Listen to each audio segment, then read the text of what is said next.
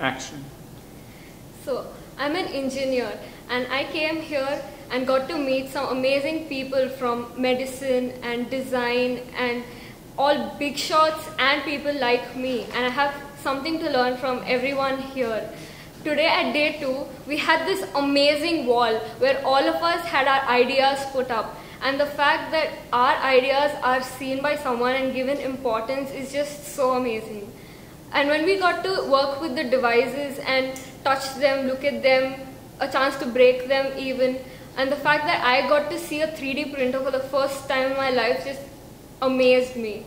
Um, aside from that, being a part of this eye workshop really made me think out, out of the box and gave me a window to a view into the, in, into the world and what I am capable of.